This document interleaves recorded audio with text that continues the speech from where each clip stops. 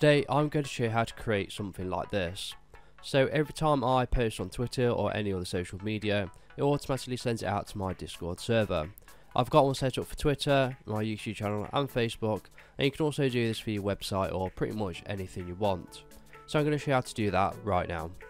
Okay, so the first thing we're going to want to do is create a new server, or if you already have one set up, that's great. The second thing we want to do is create a new channel where we want our social media feed to be. Now if I go to my main server here, as you can see I have four different channels for different social media types. So I want to do exactly that by right clicking on the left sort of box area here, clicking on create channel. I want to call it something that we can identify it by, so I'm going to click Twitter feeds and click create channel. Once we've done that, we then want to click on the gear icon of that channel, and then we want to click on webhooks and create webhook. Now again, we want to call it something that we can identify it by. Um, so we're going to call it Twitter, uh, Twitter post. And you can upload an image if you want. I always use the social media icon. And once you've done that, you want to go ahead and copy this webhook URL. We're going to need this for later. And once you've done that, just click save. And that's your webhook all set up on the Discord side of things. So you can exit out of this. Now we've got our Discord webhook set up, we then want to go ahead to a website um, called IFTTT.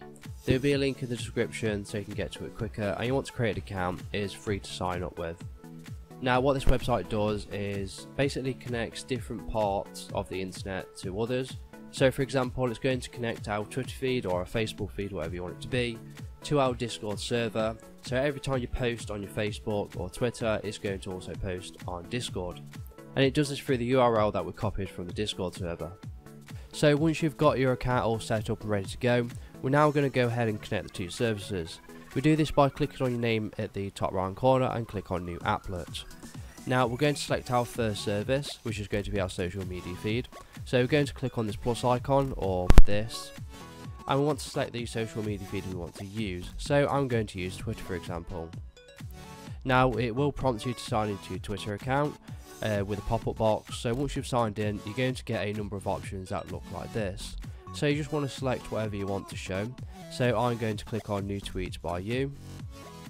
And you can include retweets and replies, but I'm not going to this time. And I'm going to click create trigger. Now also selected our social media feed, we then want to go ahead and connect that to our Discord by clicking on the other uh, plus box. I want to type in webhooks, click on the webhooks icon, now there will only be one option here, or if there is multiple ones, uh, just click on make a web request.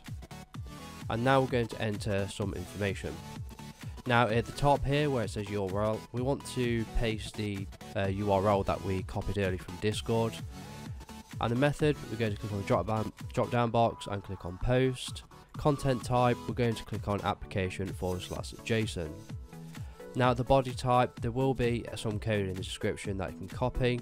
So once we've copied the code from the description or typed it out, you just want to select between these quotes here and you want to click add ingredient. Now here is where we're basically going to select how the content is being posted onto our Discord server. So whether you want it to repost it as a text or username or whatever you want. I always click link to tweet. That way people can actually see the tweet on my Discord server and they can also click on it to go directly to Twitter. Now once you've done that all you need to do is click create action and this process is exactly the same for setting up any other type of content so YouTube or your website. And once we get to this page here all we need to do is click finish. And here it's basically saying that the webhook has been fully set up and it is currently on. Now this webhook service is fully automated and it works 24 hours 7 days a week. There might be a slight delay uh, posting it to your discord server when you've made the tweet so it might be like a couple minutes delay a couple seconds or it might be even up to an hour's delay. But if you find that it doesn't work, you can always go to the uh, webhook service here and click check now and what that will do is automatically check for any updates and retweet it to your Discord server instantly. You can also modify the webhook service by clicking on this gear icon and it will take you back to this page here where you can scroll all the way down and make any adjustments if you need to. Now if you scroll all the way to the top of the website and you click on my applets as you can see, I already have a number of them set up. So I have a WordPress one for my website, a Facebook one, and a YouTube one. and I do have two Twitter ones because I've literally just set one up even though I already had one set up before so I can delete one of these now. I just want to take the time to quickly shout out a brand new community server I have launched. I wanted to create a friendly community where everyone can get together and help each other out. Whether it be a hardware or software issue, YouTube growth advice or just for general chatting and making friends. There is also a place where you can keep up to date with my latest content so you don't miss a thing and I'm also looking to expand the community server and its features so it will be more focused and more beneficial to you and it can be a great source of real-time information. So if you are interested, the invite links in the description below where you can join right now. So if this video was helpful, please leave a like and pass on to someone who may find it helpful as well. If you do have any questions or comments, just leave them below and I'll reply to you as soon as possible. So thank you so much for watching and enjoy the rest of your day.